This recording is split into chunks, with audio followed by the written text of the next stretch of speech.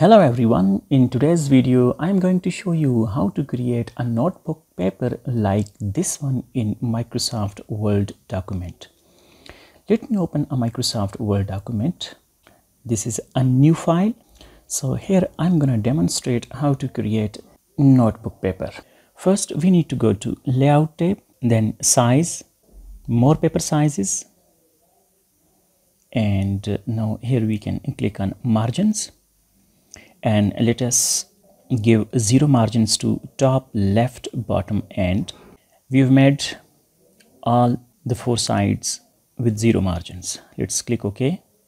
And now you can see our cursor immediately shifted to the top left side. You can see over here.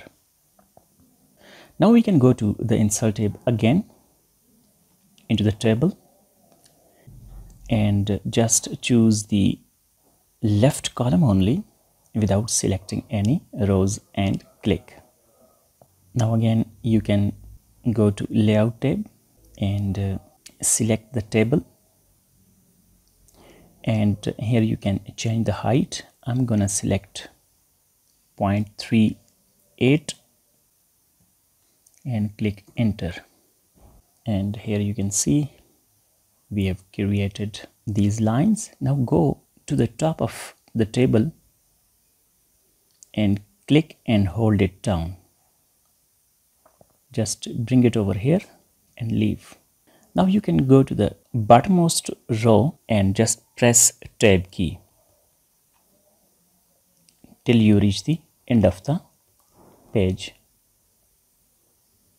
Now we have made the rows but we have to give two red lines over here so that the topmost part where we can put in some additional information while writing some notes can be inserted. Let me show you how we would do that. Again, just go to insert, shapes, and here you can see we have a line. Click over it and choose a suitable position, hold the shift key and drag it to the right and leave. Now you can go to shape outline and change its color to any one color that you like. I'm gonna select the red. Again, when these four headed arrows appear, click over it, select it, hold the control key and drag up and we have made a copy of this line. And we also need to have a line on the right side. For that you need to go again into the insert tab, shapes, select the line again and from here. You can draw a line from the top of the page to the bottom. Just hold the shift key and drag it down. You can change its shape outline to be red again. And similarly you can just copy it by clicking and holding the control key and just drag to the right. And here we go. Now you can see we have almost completed this task. But we want to have uh, some additional information inserted on the top of the page. For this you can go to the insert tab. Again click on shapes and select this rounded corner rectangle and just click and draw a rounded rectangle over here.